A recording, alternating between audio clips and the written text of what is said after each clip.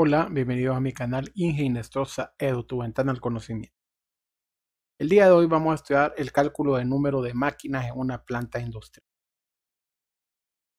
Tenemos una planta de producción y queremos determinar el número de máquinas necesarias para lograr abastecer según la demanda que tengamos del producto. Ejemplo, un centro de copiado establecido en un edificio de oficinas elabora informes encuadernados para dos clientes. El centro produce múltiples copias del tamaño de lote, producción, de cada informe. El tiempo de procesamiento para obtener, ordenar y encuadernar cada copia depende del número de páginas, entre otros factores. El centro trabaja 250 días al año con un turno de 8 horas al día. La gerencia considera un colchón de capacidad de 15% tomando como base la tabla determine cuántas máquinas se requieren en el centro de copiado. Tenemos acá la tabla, como pueden ver, el concepto pronóstico de demanda anual de copias. El cliente 1, 2000 copias, el cliente 2, 6000 copias. Tiempo estándar de procesamiento las copias por hora, 0.5 en los trabajos del cliente 1 y 0.7 en los trabajos del cliente 2. Tamaño promedio del lote, copias por informe, serían 20 en el caso del cliente 1 y 30 en el caso del cliente 2. Tiempo estándar de preparación 0.25 para el cliente 1 y 0.40 para el cliente 2. Número de máquinas requeridas. Tenemos aquí que el número de máquinas, que ya lo vamos a determinar con m, va a ser igual a sumatoria desde igual a 1 hasta n, dependiendo de los clientes que tengamos, del primer cliente hasta el último que tengamos de D sub i por P sub i más de, eh, D sub i por S sub i entre Q sub i entre n por 1 menos c por ciento sobre 100%. Es decir, que m va a ser igual de, de 1 por P1 más de 1 por S1 entre Q1 más de 2 por P sub 2 más D sub 2 por S sub 2 entre Q sub 2 más así hasta llegar hasta el último cliente entre N por 1 menos C por ciento entre 100%. ¿Dónde? M es el número de máquinas que vamos a determinar. D es el pronóstico del número de unidades de clientes por año. P es el tiempo de procesamiento en horas por unidad o por cliente. S es el tiempo de preparación Q es el tamaño del lote de producción. N es el número total de horas por año durante el cual funciona el proceso. Y C es el colchón de capacidad, es decir, que le damos un extra más de producción para poder cubrir la demanda por si la demanda aumenta. Con los datos del ejemplo. Aquí tenemos los datos del ejemplo.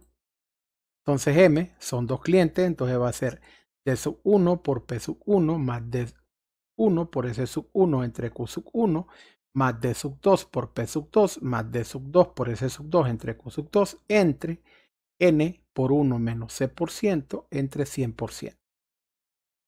Primero vamos a calcular el valor de N, las horas que se producen por año. Entonces, se produce 8 horas al día por 250 días al año. Esto da 2000 horas por año. ¿Por qué? Porque día se cancela con días y nos va a quedar horas por año, o sea, se trabajan 2000 horas por año.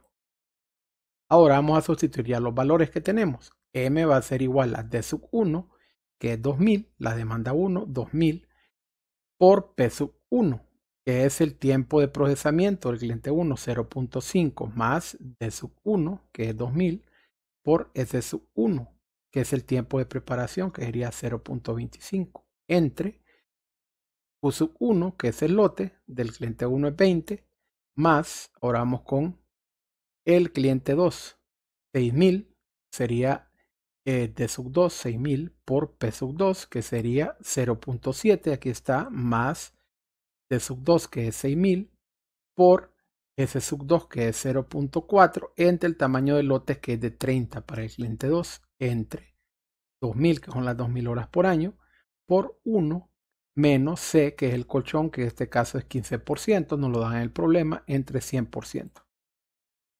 Entonces M va a ser igual, esto nos da 1025 en la calculadora, más 4280, que es este resultado, esto de acá, entre lo que tenemos aquí en la parte de abajo, que sería 1700. Entonces M queda 3.12, pero no vamos a comprar 3.12 máquinas, necesitamos más máquinas. Entonces, redondeamos al entero mayor más cercano, o sea que M va a ser 4 máquinas. Bueno, ahora te propongo un ejercicio para que lo resuelvas y practiques con más tranquilidad y te prepares para el examen o para la tarea que tienes que desarrollar. Se le ha encomendado la tarea de integrar un plan de capacidad para una operación crítica que representa un cuello de botella en la empresa La Alegría. Qué nombrecito. Bueno, la medida de la capacidad es el número de máquinas. Ahí se fabrican cuatro productos, sandalias para hombres, mujeres, niñas y niños.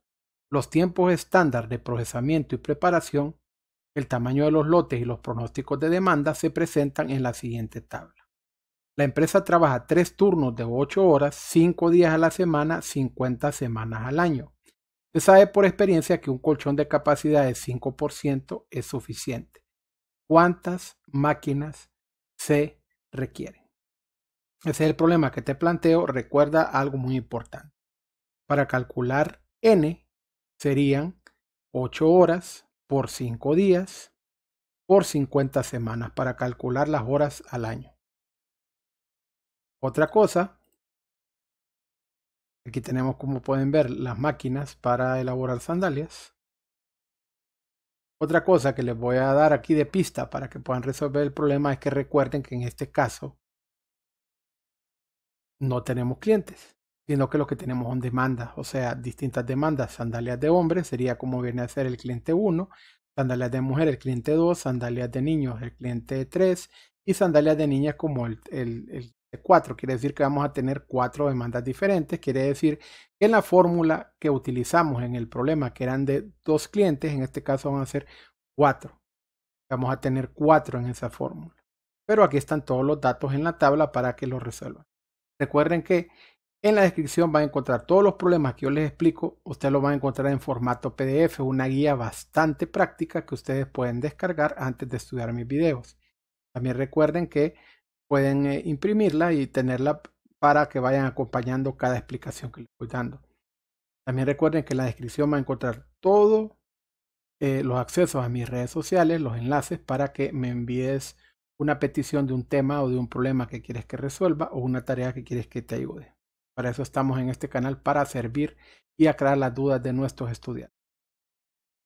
Recuerden también suscribirse Muchas gracias a todos mis suscriptores. Les agradezco mucho. Si no te has suscrito, por favor suscríbete, da clic en la campana de notificaciones, da like o dislike si no te gusta el video.